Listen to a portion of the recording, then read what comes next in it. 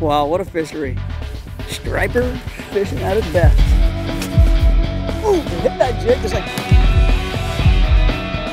Oh my God, buddy. Oh, come on. Yeah, look at that, buddy. Holy oh. moly. Yeah, it's a a nice one. one, it's oh, a Oh, one. baby. That's the big one. How's that for a striped bass? The Fish'n Canada Show, brought to you in part by Ram Trucks, built to serve. Princecraft Boats, dominate the waters. Garmin Panoptix, all seeing sonar. Mercury Outboards, go boldly.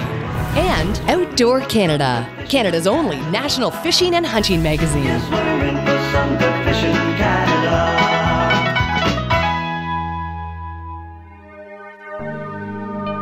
Today's Fish'n Canada episode has me traveling to the beautiful east coast of the nation. Here I'm hoping to lock horns with one of the most belligerent, muscle bound, exotic, gorgeous fish in the entire country the striped bass. They're, they've gotta be one of the coolest looking fish ever, right? They sure are. That's Mama right there. Oh, beauty. Local fishing guide Steve Delaney and I are going to be hitting the St. John and Kennebecasis rivers in the province of New Brunswick. I've been striper fishing probably since I was a teenager, so uh, talking about 15 years. We have quite a fishery here for, for big stripers. Average size is probably 15 to 30 pounds. We have a lot of river to cover, including the Reversing Falls, the Quispamsis area, and now what's considered the most popular striper area on the river, Gagetown to Fredericton. It's all a matter of intercepting the fish on their annual fall migration upriver, where they will ultimately end up next spring in their spawning areas. We started our day at Reversing Falls, the entry point for stripers from the Bay of Fundy, a high current area that loads up with the first run of fish. The last few days, the temperatures have been dropping. The water temperature dropped significantly, and uh, cold front moved in. Feels like November, even though it's only October. Is it ever? Today it does, that's for sure. The only difference is there's still leaves in the trees. Yeah. So the fish start to uh, migrate upriver for overwintering when the water hits around 10 degrees. And so we decided to do the same thing. Steve knew almost immediately that the fish had moved upriver, and it's up to us to follow. With the truck and trailer, that is, because I'm not about to take on those crazy rapids with our boat. Our next location was quite a distance upriver from our first, but I knew from past experience it's a great striper area for big fish. Just as big as you are. I love it, dude. What a monster. The hardest part is staying on top of the fish during this lengthy river migration, but the bonus is when you find them, they're hungry and they're ready to scrap.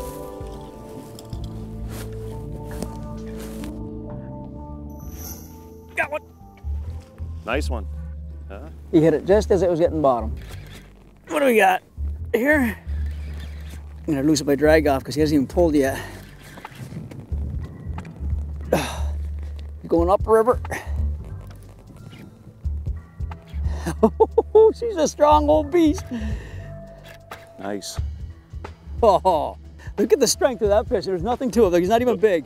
He's No. a nice one, but The, the small ones have way more energy Really, eh? than the big ones.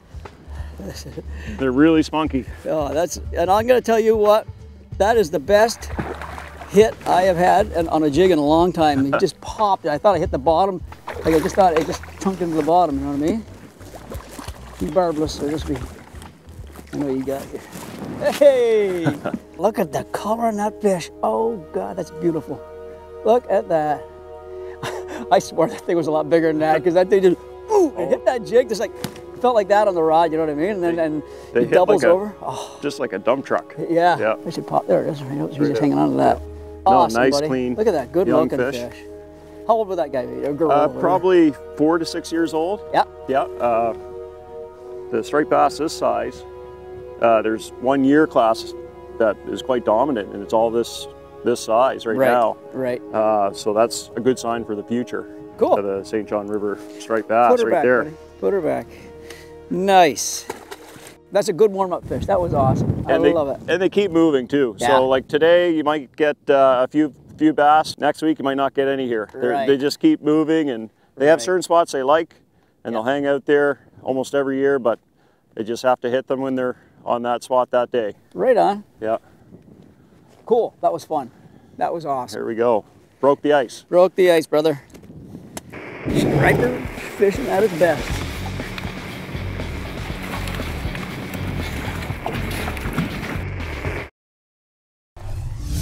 Steve Delaney is one of those techie guys, a perfectionist, if you will. Since he has a hard time finding and buying good striper baits locally, he decided to make his own.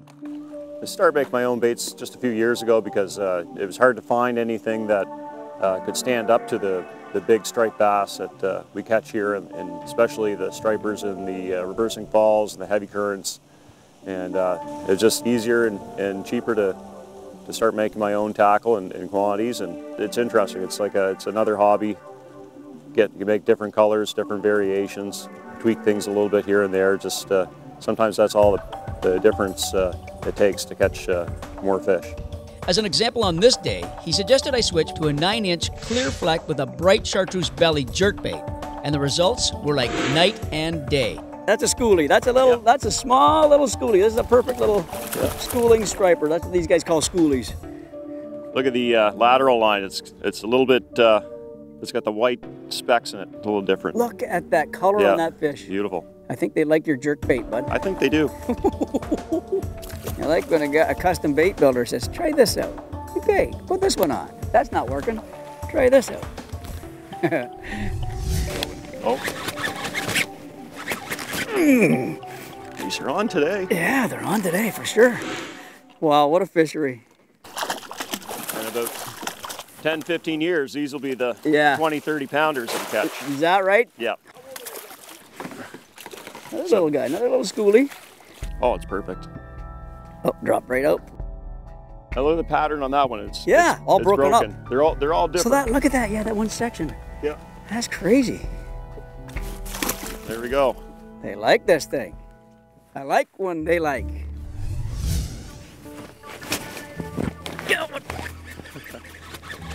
They're hitting it on that drop. It's so cool. I'll pull him right up. Striper fishing at his best.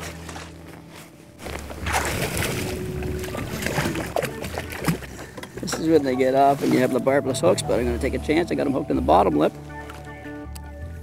How do you grab one hooked in the bottom? Uh, very carefully. Yeah, no kidding. And the little ones are the the most dangerous for uh, The wire putting ones, uh, yeah. hooks into you and, and spines. Yeah. Okay, mama.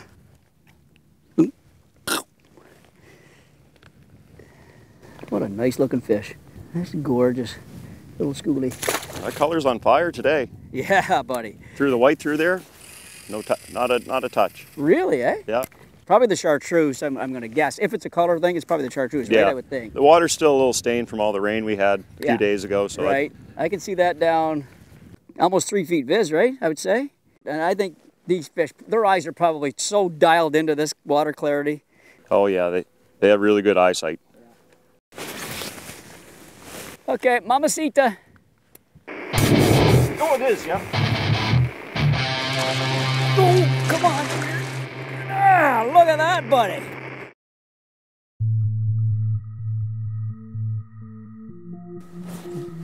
Ooh, that sounded good, no? A little bump, maybe a little heartbeat. Caught up.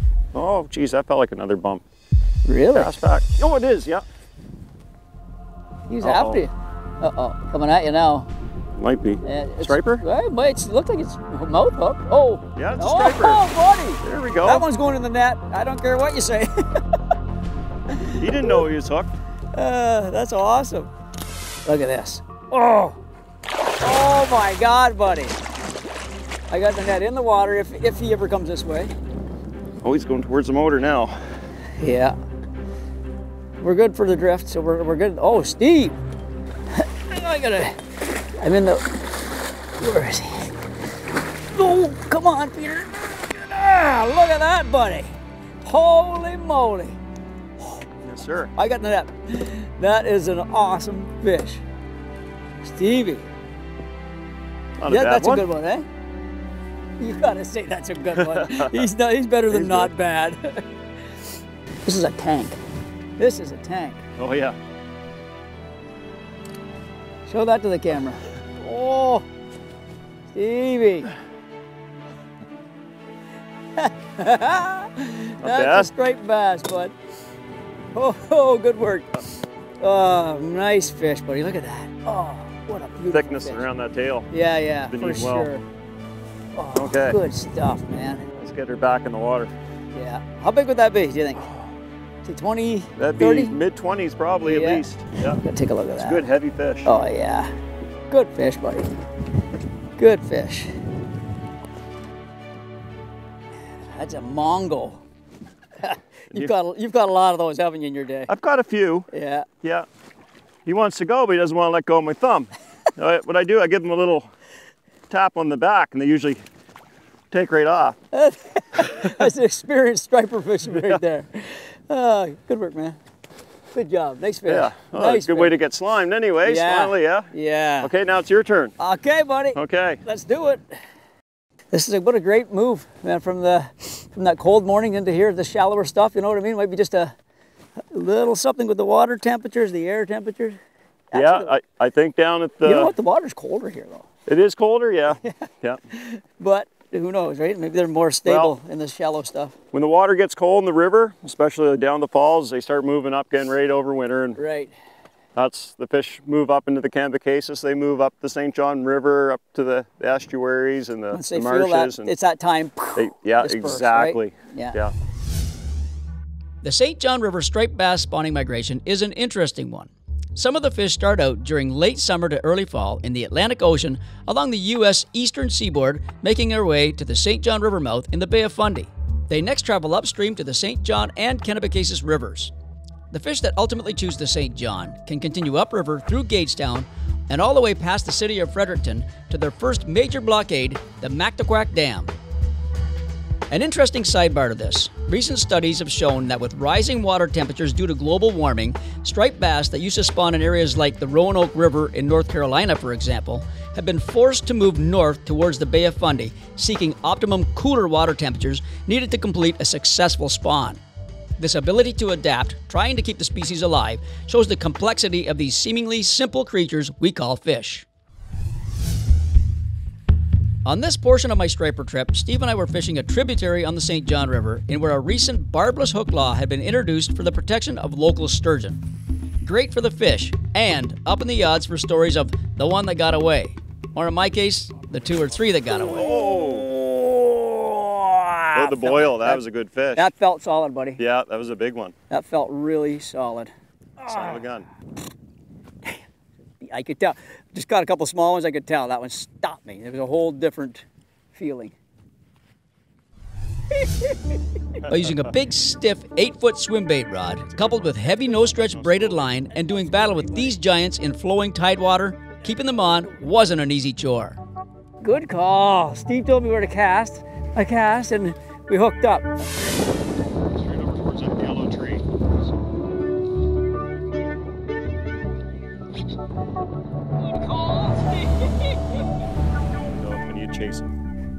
Not yet. He's really cooperating. Nice she, he, she. until he sees the boat. Yeah, exactly. Then he's gonna be gone. Yeah, he's gonna make that run. Oh, it's a good sized fish right here. That's no schoolie, Steve. this is crazy. These fish are incredible.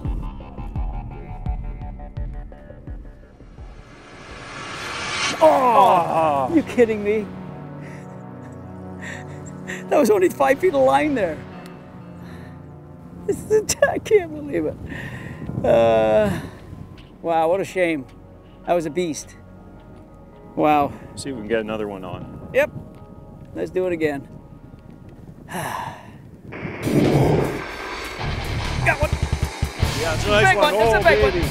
It's a big one. That's a big one. It's a big one.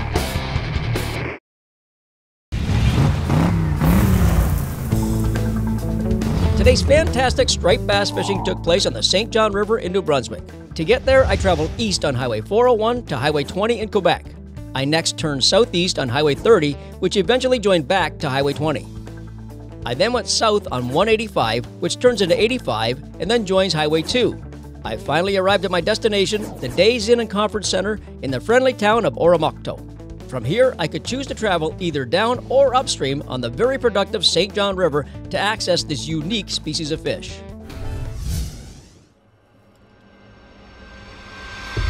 Got one. Yeah, it's a nice one. one, Oh, big one. baby. This is a big one. That's a big one. This is a bigger one. Oh boy. Ooh, oh look at. Oh boy. You feeling line? Uh, get her off lock, Steve. Take. Oh yeah, get her off lock quick. If you can. You might want to chase him just a bit. Oh, look at the water splashing back there.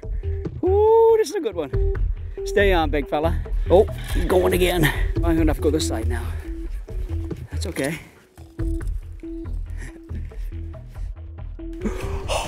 This is just like musky fishing. This is so cool.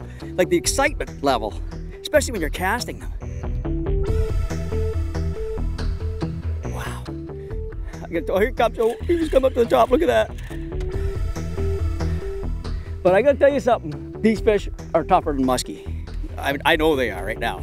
I've caught musky before, and I just I've been very few stripers. Saltwater fish fight like crazy. Eh? They just They there's just something about it. Whoa. I hope he engulfed it. He just popped it so nice. Take it easy, Peter. And just when you think they, they're worn out and they come to the boat and they see that boat for the first time, Oh and they usually do that last little run. I'm hoping you can scoop him on that run. They got a big enough net. we got a big enough. Oh, that's a nice fish. That's a good tail on that fish. Wow. This river is just a total amazing fishery. Muskies, stripers, smallmouth. There she is. Oh my God, Steve, this is a nice one. That's a real nice one. Holy moly. Look at this fish, Stevie. Oh my God. Bass like that are why we use 50, 60 pound fluorocarbon leaders. Yeah. Yeah, like you said, he's, he tries to dig in the bottom too, right? Oh, they and- dig in the bottom. They got the, the gill plates are sharp. They don't have teeth, but what they do have is, is uh, the teeth are just like real rough sandpaper. It Not a just, it'll just chew through that leader or braided line. He might be in the bottom, thin. guys. I don't know. Oh, here he's coming up. Okay. Wow. This is incredible. Look at this fight. This is ridiculous.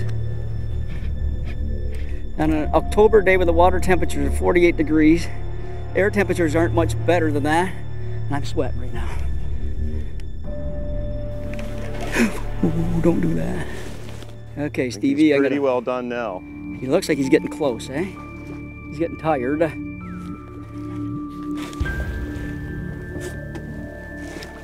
Holy moly, these things are wicked strong.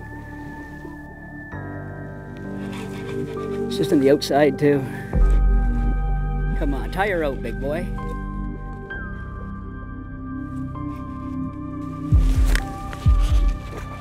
Here he comes, buddy. Here he comes.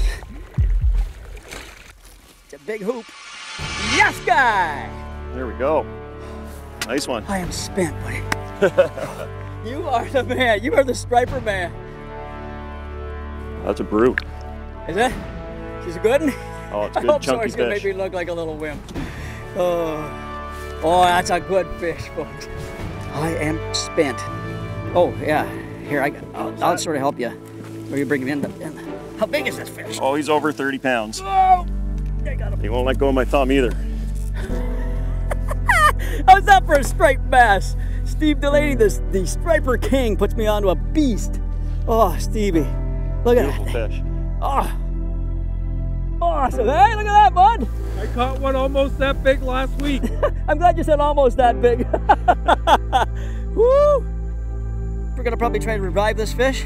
I'm gonna drop her in the water, see what she does. I'll try and hold it head first. Steve might have to come up with me on this one because it's a lot of fish. Whoa! There. This is perfect. That's energy still. So see, I will put her her head in the water like this, with the current blowing this way. Look at her tail going really nice already. Fins are out good.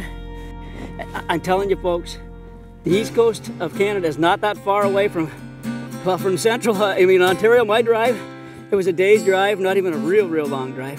To get fish like this, this is an exciting moment for me right here. Oh my God! Okay, Mama, you want to go? You want me to give her? What do you give her? A little shot on the, A on little the pat back? on the back. Yep. Sometimes I'll wake them up and they'll take right off. Let's try it. I didn't have to hit her. Look at this. I am just, I'm sweating. I am sweating. How awesome is that? New Brunswick. Yes.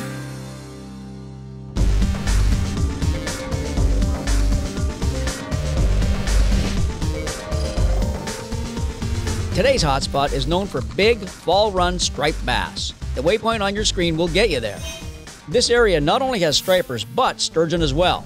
Sadly, unethical anglers have been snagging and keeping sturgeon while fishing for stripers. This has brought in new strict fishing regulations like single hooks and barbless hooks only. Make sure you read the regs before you fish here. If you're looking for an area with no special hook restrictions, then the stretch on the St. John from Fredericton to Gagetown has awesome striper fishing as well. For more hotspots like this one, check out fishncanada.com.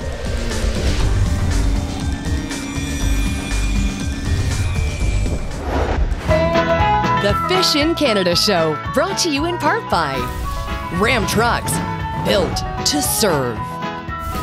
Princecraft Boats, dominate the waters. Garmin Panoptix, all seeing sonar. Mercury Outboards, go boldly. And Outdoor Canada, Canada's only national fishing and hunting magazine. Closed captioning for this episode was brought to you by FishnCanada.com, the gateway to your next fishing adventure. Come along to our cabin in the wild, cause we're in for some good fishing Canada.